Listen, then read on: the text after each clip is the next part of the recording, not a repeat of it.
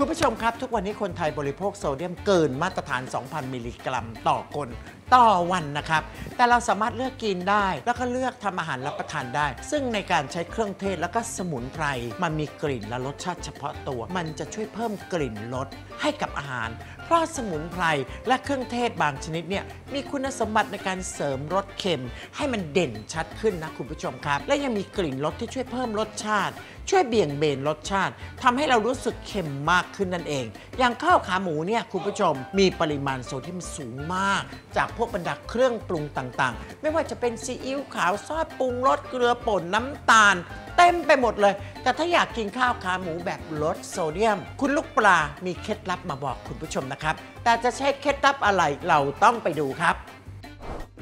อาจารย์ยิ่งศักดิ์คะข้าวขาหมูเนี่ยเป็นเมนูยอดฮิตจริง ๆ ค่ะ เพราะว่ารสชาติทั้งหวานเค็มแล้วก็อร่อยกลมกล่อม ยิ่งตุ๋นนานๆเนี่ยค่ะก็ยิ่งอร่อยมากเลยค่ะ แต่ว่าปริมาณโซเดียมมันก็จะมากไปด้วยนะคะ ถ้าเกิดว่าใครอยากกินข้าวขาหมูแบบลดโซเดียม ก็ลองมาทำตามสูตรนี้ได้เลยค่ะ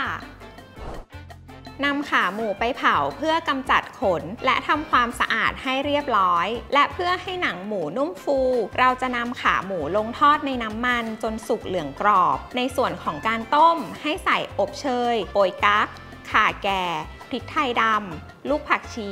รากผักชี และกระเทียมจีนบุกนำทั้งหมดคั่วจนมีกลิ่นหอมนำไปใส่ผ้าขาวบาง และเพิ่มกระเทียมจีนที่ไม่บุกไปด้วยนะคะ ใครชอบเครื่องเทศหอมๆก็ใส่เยอะๆได้เลย จากนั้นตั้งน้ำมัน ใส่น้ำตาลปี๊บลงไปผัดจนเริ่มเปลี่ยนสี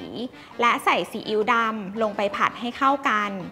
เติมน้ำและใส่ถุงเครื่องเทศที่เตรียมไว้ ตุ๋นขาหมูและเห็ดหอมประมาณ 3 ชั่วโมง หรือแล้วแต่ความชอบเลยค่ะ และเมื่อตุ๋นได้ที่แล้วค่อยมาปรุงรสด้วยซีอิ๊วขาวและไอโนโมโตะค่ะ ในส่วนของพริกน้ำส้มก็จะใช้กระเทียมจีน พริกชี้ฟ้าเหลือง น้ำส้มสายชู น้ำเชื่อม เกลือ และไอโนโมโตะปั่นผสมให้เข้ากัน ในส่วนของผักเคียง ถ้าใครอยากลดโซเดียม ลูกปลาไม่แนะนำให้กินกับผักดองนะคะ แนะนำให้นำคะน้ามาลวกในน้ำขาหมูได้เลย ส่วนใครอยากลดไขมัน ก็กินกับกระเทียมสดและพริกสดค่ะ ข้าวขาหมูสูตรทั่วไปนะคะ 1 จานมีปริมาณโซเดียมประมาณ 1,100 มิลลิกรัมค่ะ แต่ว่าสูตรลดโซเดียมสูตรนี้นะคะ เราใช้เทคนิคในการเพิ่มเครื่องเทศ ลดเครื่องปรุงลง และเติมอายิโนะโมะโต๊ะทำให้เราสามารถลดโซเดียมลงไปได้ถึง 60%เลย ข้าวขาหมูสูตรลดโซเดียมจานนี้ค่ะ จึงเหลือปริมาณโซเดียมเพียงแค่ 440 มิลลิกรัมเท่านั้นค่ะ เห็นไหมคุณผู้ชมข้าวขาหมูสูตรนี้อร่อยถูกใจ เนื้อหมูนุ่มละลายในปากเลยนะคุณผู้ชม รสชาติเค็มหวาน รับประทานคู่กับน้ำจิ้มรสเปรี้ยว และข้าวสวยร้อนๆฟินสุดๆเลยนะครับ เพียงลดเครื่องปรุงลงไปแล้วก็เติมอาจิโนโมโตะลงไป จะช่วยเพิ่มรสชาติให้เป็นจานที่อร่อยเหมือนเดิม แต่โซเดียมลดลงได้นะครับ